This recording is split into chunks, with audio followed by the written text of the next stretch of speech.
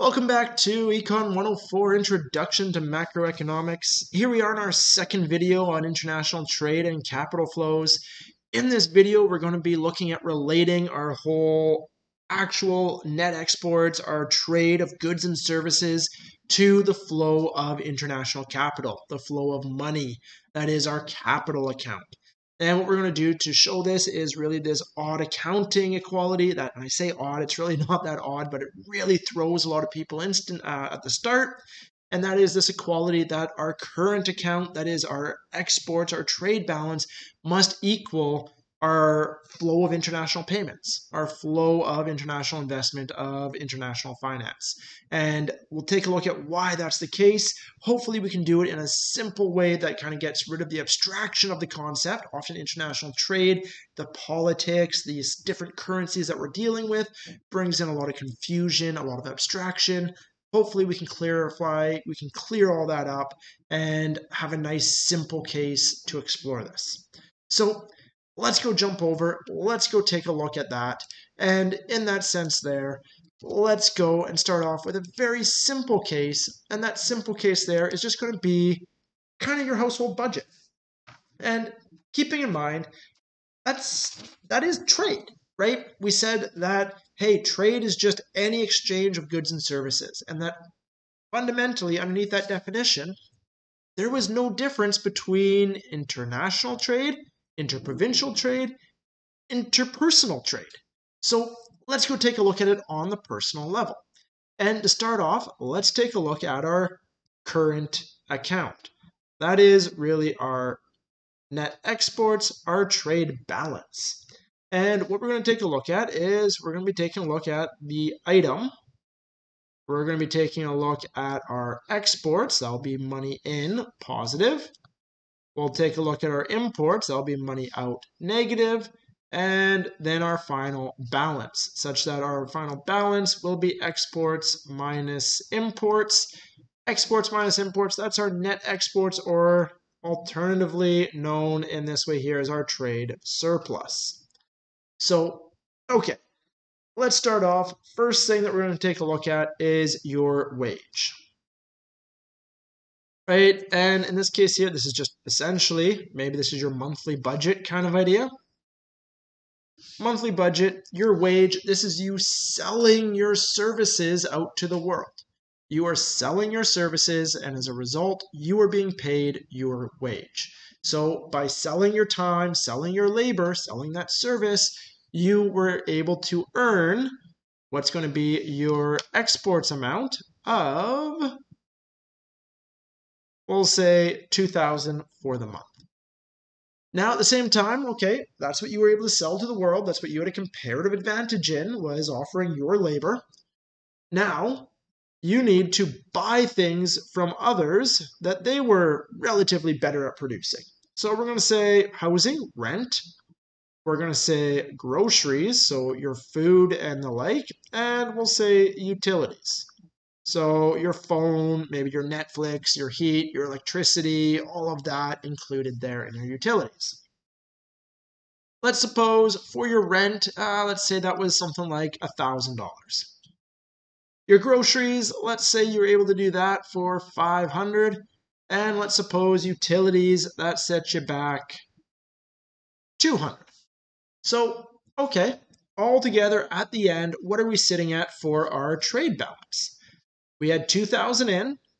We had to spend a thousand spend 500 that's 1500 spend 200 that's 1700 so 2000 minus 1700 we have a value of our net exports of $300 we have a trade surplus with the world of $300 that is hey we sold our wage. We've bought all the stuff we want to buy in this month and I have $300 left sitting, left just out there. Well, okay, in reality, right, okay, you have cash. You could just sit on this as cash and have it as cash, and then there you go, it just sits there. But let's pretend this is a cashless society. That is, and in reality, a lot of Canadians carry very little in cash. So let's just make that assumption. This is a cashless society, meaning that what you have to do with this $300 is you have to put it in the bank, right? You have to put it into a checking or a savings account or something along that line. So let's presume then that we have, and this is going to be our capital account. This is essentially our purchase and our sale of financial instruments. And again, what we'll have is we'll have our item. We'll have our positives, which is capital inflow. So capital inflow, that's a positive. And then we'll have our negative. This is going to be our capital outflow. And this is from our perspective, right? From me. Is money coming to me positive? Or is money going away from me negative? And of course, then we would have our balance. And in this case here, right, again, our balance will be, we'll say inflow minus outflow. So, okay. Let's take a look at how all this goes. So what we have is we're going to go and we're going to say we're going to put a little bit of our money in savings. So as we do that, essentially the way you want to think about this is you have gone to the bank and you have just purchased a savings account. You have bought this financial instrument of a savings account. That is, from your perspective, you've just given the bank that money. For you, that is a capital outflow. That is money you no longer have. You just gave the bank we'll say $200. Right? And you're like, but that savings account's in my name. Yeah, yeah, yeah, that savings account is in your name. The way the savings account works, you can ask for that money back, but you've given that money to the bank. You have purchased this savings account for the time being. That is, you have purchased a financial instrument. At the same time, let's suppose that at some point during this month, right? Sometimes we run into cash flow issues. We see that on the month on whole, you had $300 in the positive, but you know, pay comes in irregularly and expenses sometimes line up at different times.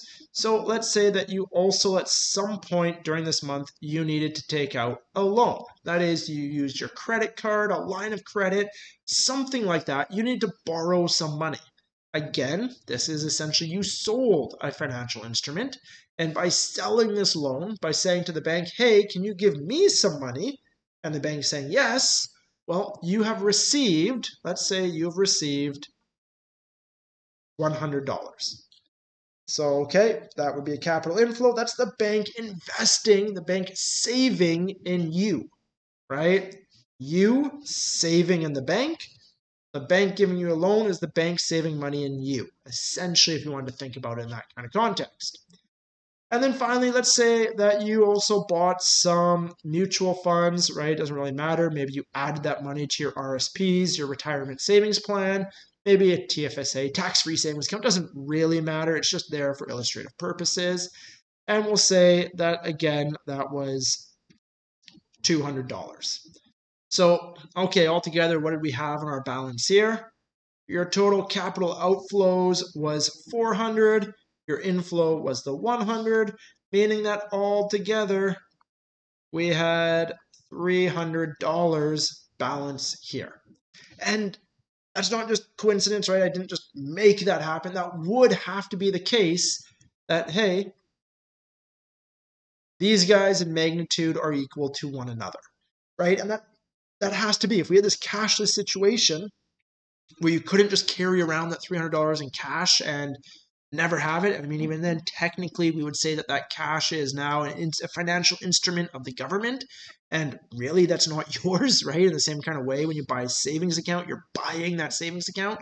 But, anyways, that aside, this whole bit is that with this extra money you had, you had to, with it, purchase financial instruments. You had to purchase savings accounts, purchase mutual funds. You had to borrow some money. All of this worked out such that your financial accounts, your capital accounts, were equated to either your trade surplus or, in the other case, our trade deficit. They always must equate. Okay, when we get into international trade, things change a little bit, but not really, right? When we get into international trade, Well, we would have our exports, all of the stuff we export, all the money we get in.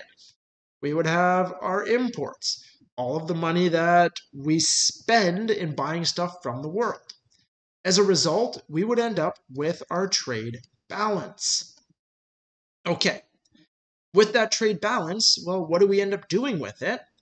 Well, in this case here, we have $300. That is, we sold more stuff to the world than we bought from them. That is, hey, we're owed a bunch of money from the world. What do we end up purchasing?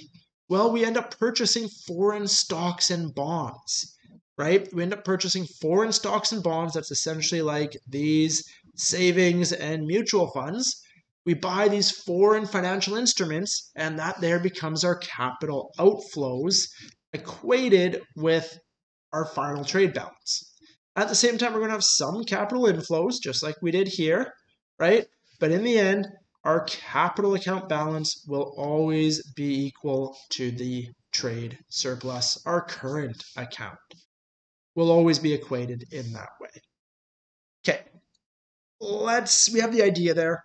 Let's go on, take a look at our expenditure form of GDP. And using our expenditure form of GDP, let's take a look at another example of how exactly this works.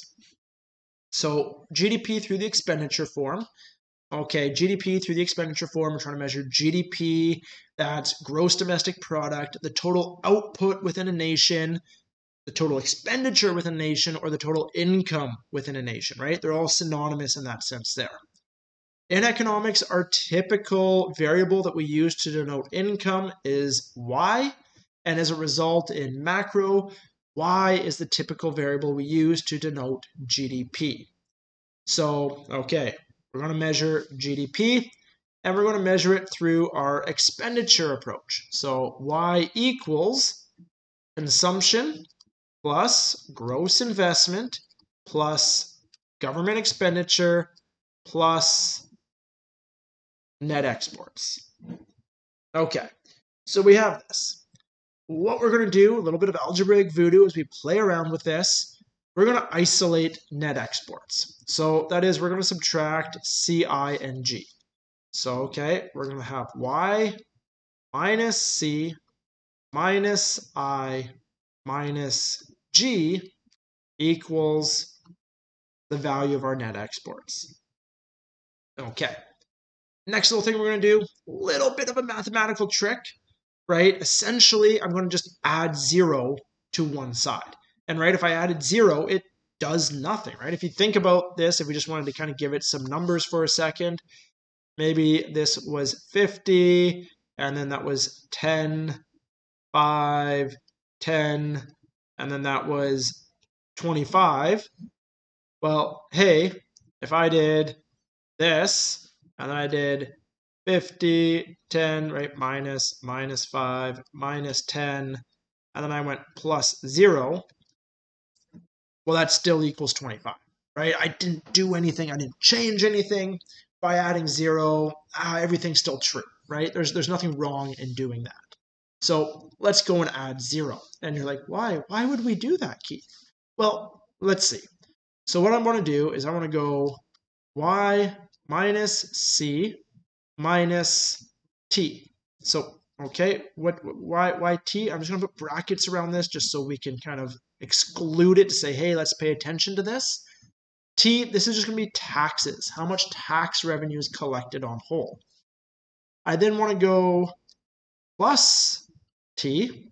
Hey, minus t plus t. Those two are just gonna cancel each other out. So nothing's happening. I just added by zero, like I promised. Okay.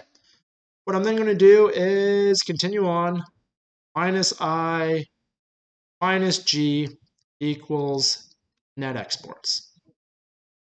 A little bit of rearranging. Essentially, all I want to do is bring this plus T and this minus G together. So, hey, that's just rewriting it in a different order. So y minus, and again, I can rewrite this guy a little bit too, t minus c, that doesn't change anything, plus t minus g, minus i, right? This was a plus, got a little bit lazy there, equals net exports. And okay, why why are we going through all this? What exactly does all this mean? What's going on with this? Okay, let's talk about it. Why? GDP, output, income, expenditure. So yes, we did our expenditure approach, but let's think about this. Hey, they're all synonymous. Let's think about why GDP as income. So what do we have here? We have income minus our taxes minus our consumption. So, hey, income minus taxes, that's a term we call disposable income. All my income that I have, subtract off the amount that the government collects in taxes, the leftover is my disposable income. Out of my disposable income, I have two options with it. I can either eat it today or I can eat it tomorrow. That is, I can either consume it or I can save it. So in this case here, if I take my disposable income and I subtract off what I eat today, the leftover, the leftover is what we would call our private savings. How much money we save as all of our households within a nation, within the region we're looking at. So, okay, that first little bracketed term, and again, the brackets don't need to be there, it's just so we can highlight it. That first bit, private savings. Second one, then, what's going on here? Well, T, tax revenue, that is how much money the government brings in, minus government expenditure. So, how much revenue the government earns minus how much money the government spends. Well, hey, that's just essentially our budget, right? Our government budget. Or in this case here, revenue minus expenses. We can think about it in this context too as our public savings. That is how much money the government is saving. And hey, keep in mind, you as a household can be a dissaver. That is, you can be eating more today than you have as disposable income. You're borrowing from your future. You have negative savings. So so can the government, right? The government can run a deficit. They can be spending more money than they're bringing in in tax revenue. So again, we could have negative public savings. These don't have to be a positive value. Together, together we would refer to private savings and public savings as our national savings. NS national savings.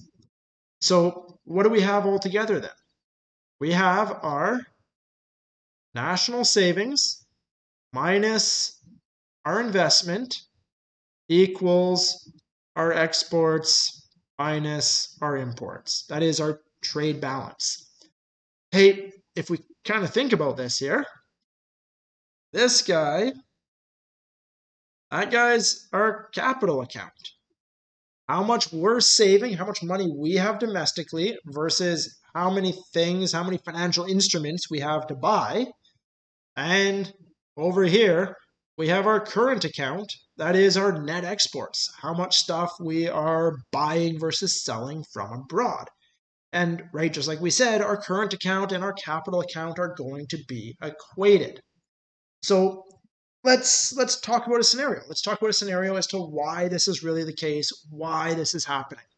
Let's kind of like the scenario we just talked about. Let's suppose we are running a trade surplus and that is our net exports are sitting at something like we could be extreme let's say 300 billion dollars of trade surplus so okay 300 billion dollars in trade surplus.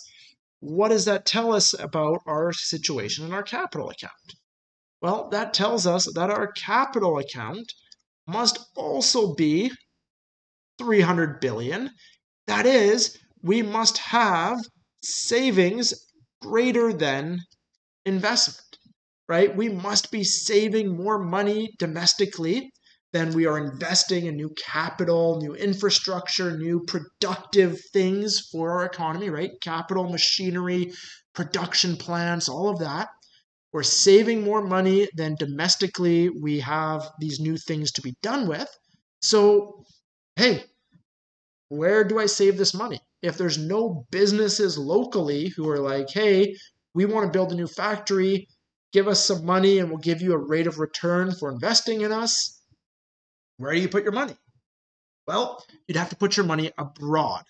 In this case here, We have $300 billion that we are owed from abroad. So that $300 billion of excess savings is saved internationally. This is now all this excess savings ends up being invested in foreign countries, in foreign capital, right? Building the capital, building the productive capabilities of other countries, investing in their machinery, their equipment, their factories. So anytime we have this positive net exports, this trade surplus, well, that means our savings are greater than our domestic investment, and we are saving, we're putting our money abroad. What about the other scenario? Let's suppose we have a trade deficit. Let's say that we have net exports of negative 200 billion, right? That is, we're buying more stuff from the world than we have money for. Well, hey, if we're buying more stuff from the world than we're selling to them, uh oh, we owe them money, right? We owe them money. Ah, what's going to happen, right? This is essentially how do we get them? How do we pay them for this? Well, we take out a loan, right? And in this case here, that savings is less than our investment. That is, hey, we're not saving very much domestically, but domestic industry is saying, hey, hey, we want to build new factories. We need new equipment. We need all this stuff. Somebody give us money so that we can build these new factories. We can buy this new capital, all of this. Where does all this money come from? Well, all this money comes from foreign investors, foreign finance, in the tune of that $200 billion that we would need.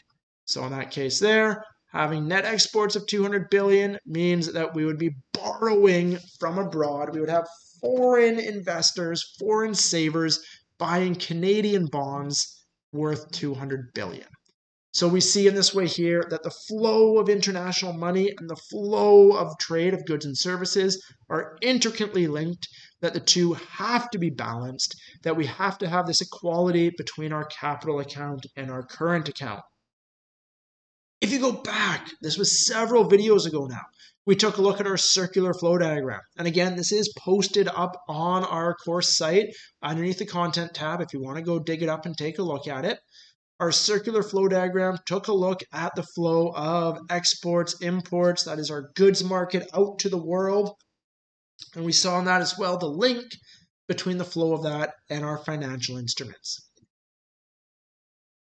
Same kind of idea happening there. Same kind of idea, exact same thing. We're just formalizing it here and equating these. So, what we want to talk about next then we have that this is an equality, that this has to be the case. What what ends up happening if things start to change? What happens if government invokes policies and let's say all of a sudden the government starts running a massive deficit? What does that mean to us? Well, let's let's take a look. Let's start off with our expression. So let's start off with private savings, y minus t minus c and then we're going to add public savings. So that's T minus G. And then we're going to minus our investment, and that must equal our trade surplus, net exports. We can presume, right, just for simplicity, right, anytime we do anything like this in economics, we start to change one thing, we presume that that change is being done ceteris paribus. That means we are holding everything else in the world constant. We're only allowing that one thing to change that we're analyzing. Boom, change. What's the impact? Everything else in the world constant. Right? Simplifying assumption, I know, but it makes the analysis a lot easier. So let's presume to start off that our net exports is zero, right? And that is just right now to start off, our exports equal our imports perfectly. What does that mean on the other side? Well, that means on the other side that our national savings equals our investment. That is, we don't have any capital inflows, we don't have any capital outflows. We are perfectly matching, we're perfectly meeting all domestic investment with domestic savings, right? And that would have to be the case if our net exports were also balanced. Okay, So this is our starting point. This is our starting condition. From here, let's suppose that the government runs a budget deficit. And that is they run a budget deficit by increasing their government expenditure. What exactly does that do? How does that end up changing things? And how does that end up impacting our net exports on whole? How does that end up impacting our flow of financial capital? Well, we can we can look through this and we can work through it quite easily. So, okay. We've increased our government expenditure. Increased government expenditure, okay, so G has gone up. Hey, that's a bigger negative term. So altogether, by government expenditure going up, my public savings has fallen. If my public savings has fallen, it must now be that national savings is less than investment. I'm not saving enough to meet my domestic investment. So, hey, if I'm not saving enough to meet the investment things, I'm going to have capital inflows. I'm going to have money from abroad coming in to essentially invest in these Canadian businesses to help them finance their new capital, their new equipment, their new machinery in that sense as well, then, hey, if I'm going to have capital inflows, well, my net exports are very similarly going to be dropping. And that is that capital inflow is coming in in order to finance, again, all of these excess imports. And I would have negative net exports. I would have a trade deficit as well a trade deficit. That is, my exports would become less than my imports as a result of this. So we can see how that kind of has worked through, how that has happened. More government expenditure, all else equal, would be less net exports, a dropping in that, and an increasing trade deficit. What about another case? What about another case? Let's suppose that all of a sudden, all else equal, our consumers, they're feeling really wealthy, they're feeling very optimistic about the future, things are looking good, and our consumers decide that, hey, they want to increase their consumption, all else equal. So all else in the world equal, we're going to increase our consumption. Well, what's what's that going to do? Well, okay, very similar to what we just took a look at as I increase my consumption, all else equal, that's going to be a drop in my private savings. Hey, if that's a drop in my private savings, well, less private savings means less national savings, giving me kind of this imbalance like we had here, meaning that there's not enough domestic savings to finance all of my domestic investment wants. So, okay, where does this financing come from? Well, it needs to come from loans from abroad. Outside of that, what we can also think about is hey, if we want to consume more, we want to consume more, but where's that consumption going to come from? Some of it's going to be domestic for sure, but a lot of it's going to come from abroad as well. So, hey, we're going to start to import more stuff. So, hey, as we start to import more stuff, our imports rise. And again, we get this trade deficit. Same kind of story happening as when we increased our government expenditure. So, increasing consumption, all else equal, would cause a trade deficit as well. Right, and again, big thing there, ceteris paribus, all else equal. If we started off at that zero situation, spike in consumption will result in a change in capital account, changing current account. Okay, let's take a look at the last one here. Last one. Let's say all of a sudden we have a spike in investment. So all of a sudden, firms want to increase their productive capability, they want to expand their factories, they want to buy more capital. And in order to do this, they need financing, right? They need some loans in order to get the money they need in order to buy that new factory, in order to buy their new equipment? Well, to start off, hey, before this spike in investment, all of their investment needs, all of their financing needs were met domestically. Now, all of a sudden, they need more investment. Where does this come from? Well, this spike in investment, again, that's going to cause national savings to be less than this new higher investment. So, hey, again, we need some capital inflow to make this happen. We're looking abroad to foreign savers. Foreign savers, they start to flood into the Canadian market.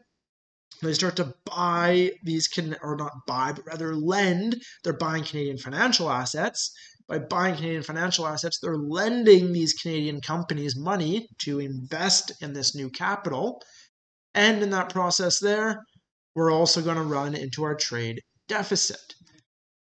And again, trade deficit. So, in this sense, here, we've worked through the impacts of, hey, a change in government expenditure, a change in consumption, a change in investment, the impact it would have on the capital account, right? The flow of international resources, the flow of international money, rather. And in this case here, in each of our cases, we witness capital inflows given a higher demand, either a drop in savings or an increase in investment. And that capital inflow is then met with net imports and thus trade deficits. Of course, this is all symmetric. This is all symmetric. If we had the opposite happening, if we had a drop in government expenditure, all else equal, the government also started to run a surplus if we had a drop in consumption, if we had a drop in private investment, we would have the opposite case. As these would drop, we would get a rise in net exports and we would begin to run trade surpluses. So, of course, the opposite would also be true. Perfectly symmetrical effects here. Okay, we've gone through that. We've taken a look at this. We've taken a look at, okay, flow of capital, the impacts it has on our trade balance, and all that going on. But what exactly does this mean? Right? And often in the media, often in the media, when you're talking about trade balances, we end up seeing situations like, oh, the US has an unfavorable trade balance.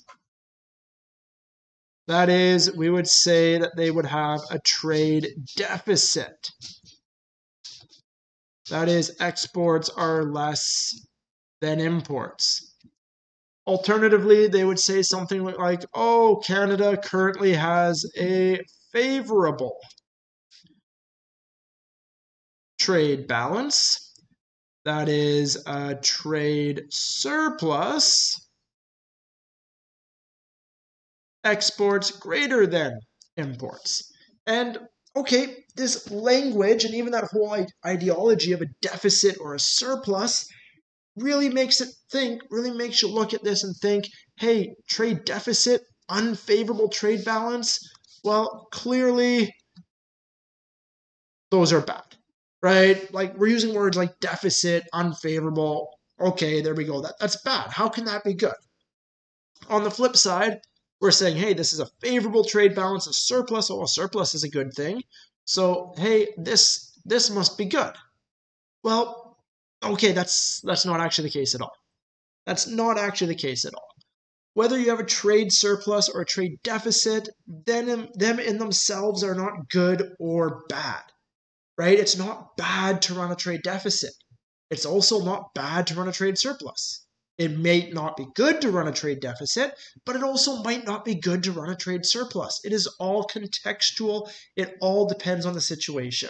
So, are deficits actually unfavorable? Well, really, the answer to that is it depends, right? A true classic economist answer it depends.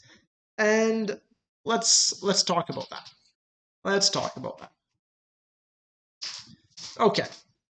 If trade deficits are bad, really what you're saying is that borrowing is bad, right? Because if you have a trade deficit, well, as we saw, your savings is less than your investment, so you need to borrow to make that happen.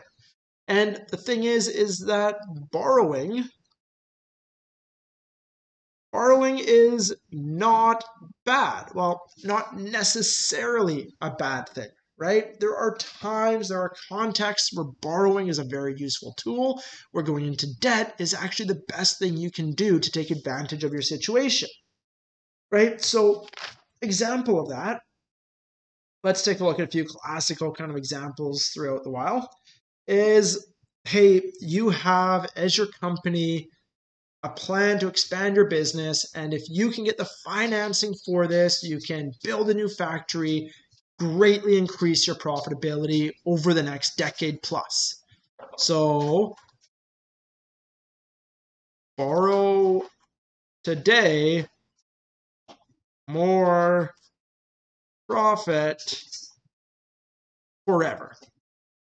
Hey, that's probably a good thing right? If you can borrow today and get more profit forever, as long as this increase in profit offsets your cost of credit, this is a good business move. This is a good decision. You borrow that money today, you invest it in productive capital, increasing your output, increasing your profitability, and you're better off for it. So, hey, borrowing, borrowing can be good.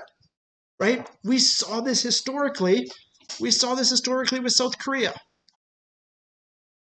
South Korea in the 70s, South Korea in the 70s ran trade deficits for quite a long time, right? They ran trade deficits for 10, 20 years as they were net importers, borrowing money, borrowing money from the world, and investing this heavily in new productive capital, in new factories, in new production. More recently, well, more recently it switched. South Korea now, on whole, is running trade surpluses, meaning on whole, North, South Korea, sorry, not North Korea, South Korea is now running these trade surpluses, meaning that, hey, now they have this excess of savings. They're essentially now able to repay that national debt, right? They're able to pay that off. They're able to pay back everything that they borrowed during this period in the 70s where they invested in their capital, where they built up their productive capabilities we now see the big Korean firms like Hyundai, Kia, Samsung, etc., etc., etc. Right? U.S. early colonial days of U.S. of the U.S. we saw very similar things. Okay, but of course, right? That doesn't mean that borrowing is also good. We also see cases where you borrow today strictly for more consumption today. And that is, you're not increasing your productive capability, you're not increasing your output, you're not increasing your ability to repay it all. You're just borrowing money and consuming it, and then you're going to have to foot that bill down the road. In this case here, well, maybe this isn't the best way to consume. Maybe this isn't the best reason to borrow, Sometimes cases can be made to borrow money to consume today for sure, right? But what we see in this case here is examples as in some African countries and some South America, or we can say, including Mexico, some Latin American countries. American countries. In these cases here, they borrowed heavily they borrowed, they borrowed, they borrowed, but they did not invest this borrowed money in new productive capital, in new machinery, in new equipment, and any of that stuff to increase their productive capabilities. So they didn't have any new rest- uh, any new infrastructure, any new anything to increase their productivity. I shouldn't say new anything. They definitely had new stuff. Definitely did some good stuff with it, but on whole, we did not see an increase in productivity or in their output levels. As a result, well, when debts came due, there wasn't that boost in productivity. Ah, it became more difficult to repay, right? It became more difficult to repay. And in this case here, this period of trade deficits, this was unfavorable. This was problematic. So, okay, both cases, they ran trade deficits, but in this case here with South Korea, and I can make a few other examples here of countries that ran trade deficits, increased their productive capability. Yeah, those were good things. right? They were better off because of it. Other countries, uh, not so much, right? They didn't necessarily utilize that investment in the best of ways. Okay, well, we have other cases too.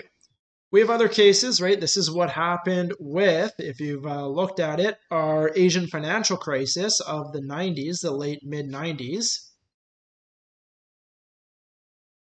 This is one of our issues with running trade deficits is we have Thailand, Malaysia.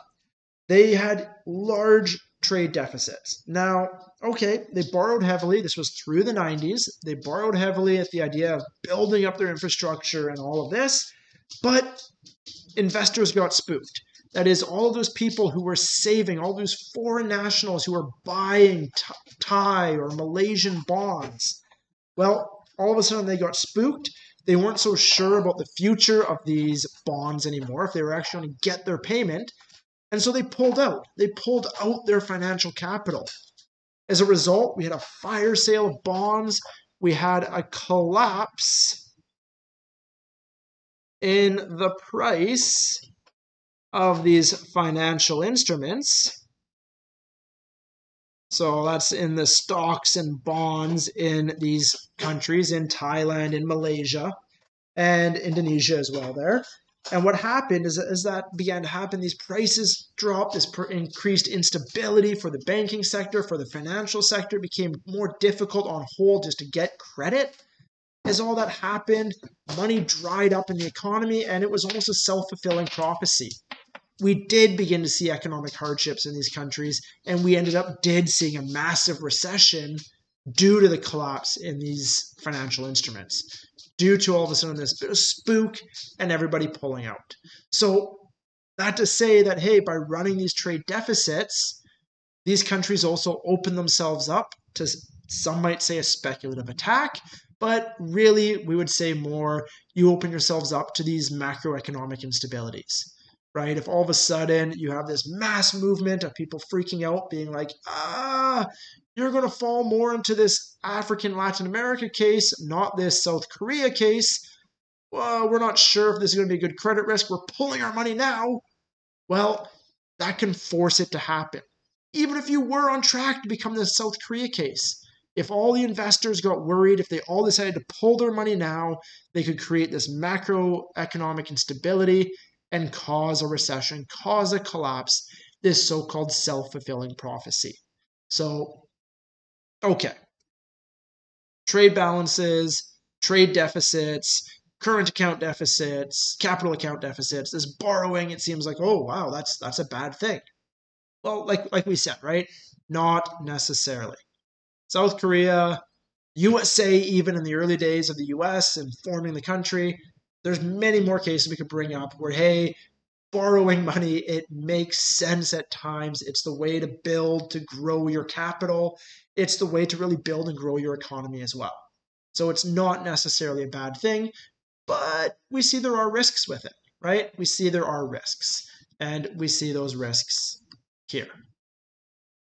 So, what about the other side? Right? We see an okay, trade deficits, they have potential, but there's a lot of risk associated with it.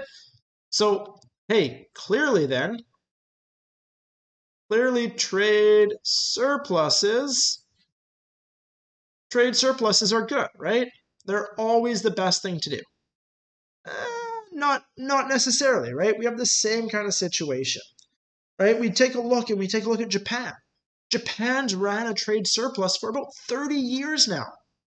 At the same time, at the same time that they've ran this trade surplus for almost 30 years, they have hovered in and out of a recession for this last 30 years. They have had really high unemployment rates for 30 years. They've had stagnant productivity for 30 years. That is, well, maybe they could use a bit of trade deficit. Maybe they could use a little bit of capital inflow to build up their capital stock, to build up their productive capabilities, right? Necessarily being a lender to the world isn't always a good thing either. Germany, same kind of case. Germany has ran surpluses for years now. Again, Germany has seen stagnant growth throughout the last throughout the last few decades. So, okay, trade surplus, you have all this excess capital as a result, but ah, all this excess capital, what are you going to be doing with it? Right? What are you going to be doing with it? Can you actually promote your industrial growth, your increase in output, your increase in productivity, or are you just going to stagnate as a result of it? Beyond this, beyond this, what we see is situations like uh, like pre pre independence India. India ran trade surpluses with Britain. And that is, right? So, okay, ran a trade surplus, exports greater than imports. They sold more stuff to Britain than they bought from Britain. That means, very similarly, the amount of savings they had in India exceeded domestic investment. Right? And okay, so you're selling more stuff to Britain. So Britain's essentially saying, hey, India, we owe you, right? You've sold us all this stuff. We owe you a bunch of money because you sold us more stuff than we bought from you.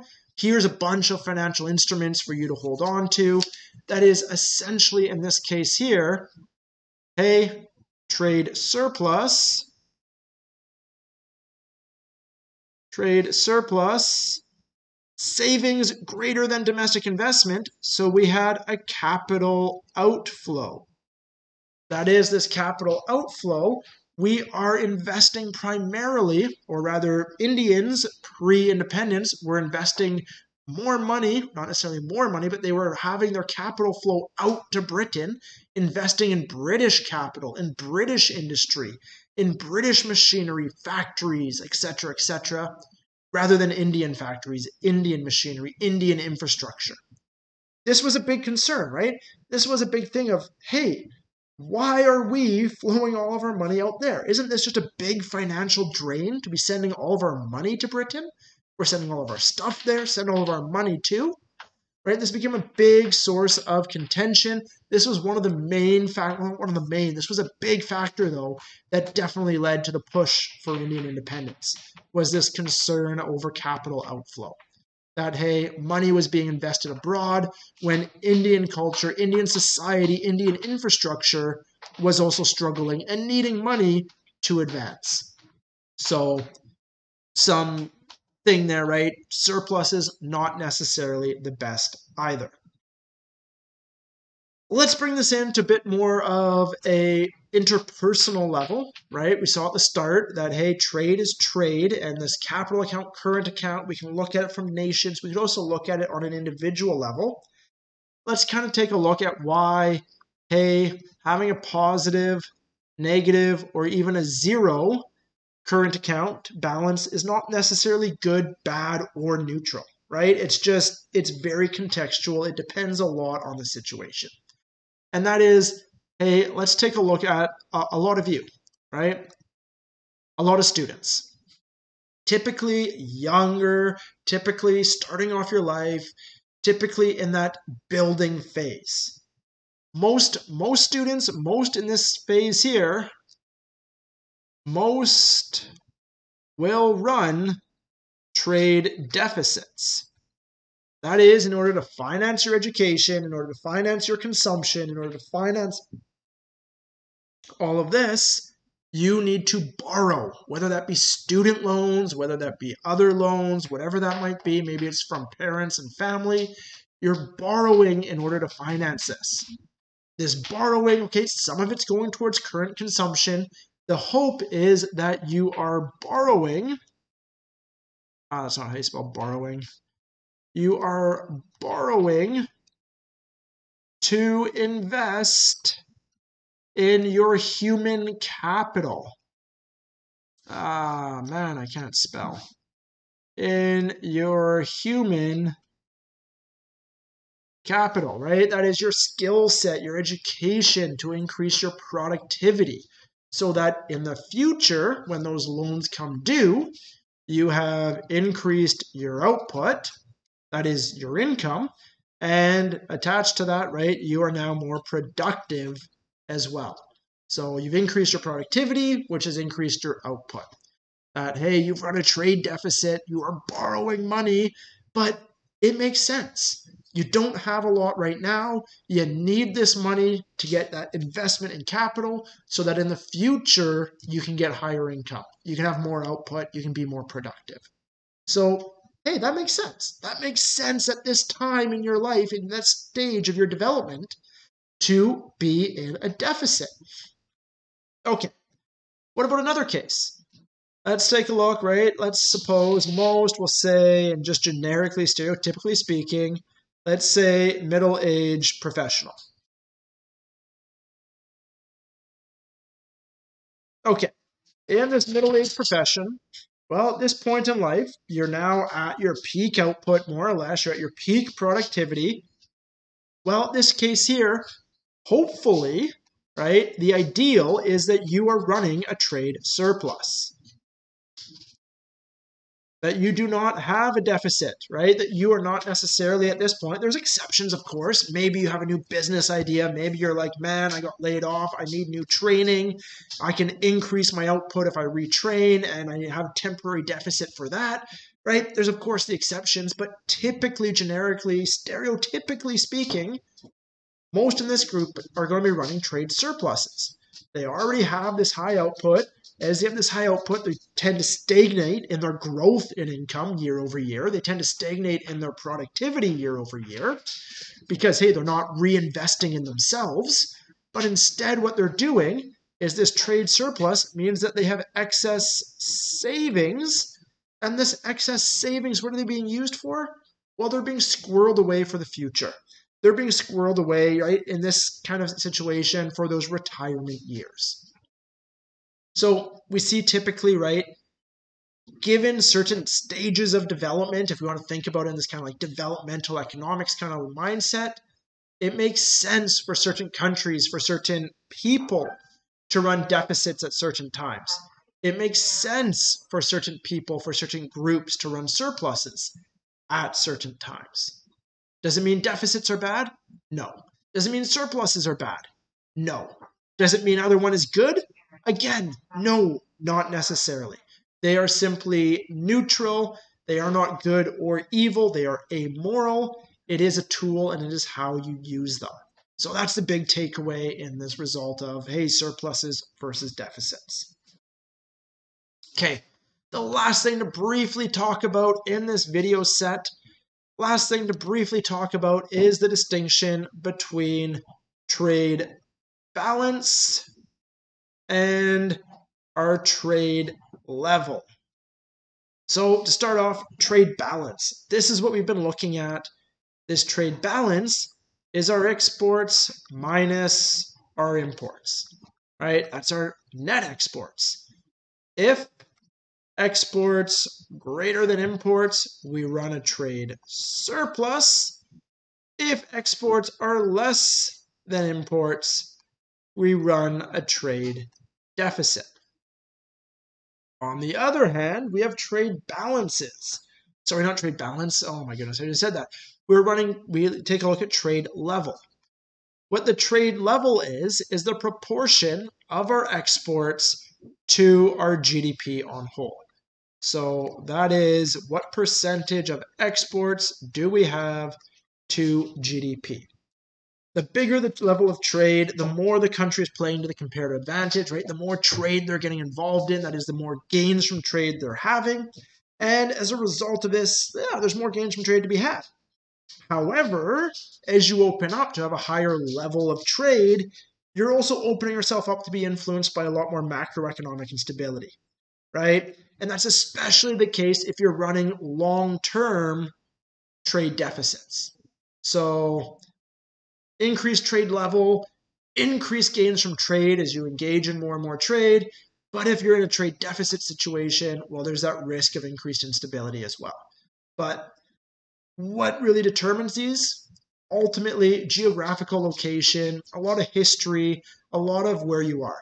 For example, the USA, they have, uh, they actually run quite large trade deficits, but they have a very small trade level right? Being a rather isolated country, they have us, Canada, right next door, they have Mexico, but this trade level is only about 13% of their GDP. right? So, relatively speaking, that's a pretty small level of trade they have. So, even though they've run continual large trade deficits, it's not as big of a concern for them because their exports only account for a small proportion of their total output. Compare this with many Asian countries, many European countries that are surrounded by lots of countries. In these cases, they're running trade levels of 50% or more.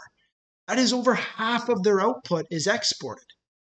Well, in this case, in this case, huge amounts of your GDP is determined by your exports.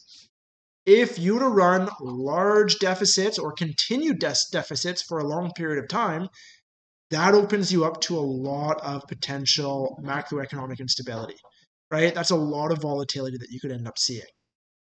If you end up running surpluses, well, great. But then again, that's money that you're shipping abroad instead of investing in your own economy. So we see in a lot of European, Asian countries, we see high levels of trade and then the corresponding, typically lower surpluses or deficits, closer to zero. But of course, if they differentiate, if they change, that's where you end up getting your stability problems, your instability possibly arising. Okay, in this video, what have we covered? Big things, we've explored the capital and current account. Big takeaway is that that capital and current account must be equated. If we are net exporting, right, if we have more stuff going out to the world, then we must also have capital outflows. That we must also be investing more abroad than we are receiving from foreigners. If we're a net importer, that is, we're buying more stuff from abroad, well, then we must also then have capital inflows, that is, we're borrowing, and we must have foreigners investing, bringing their money into our country. That's the big takeaway there.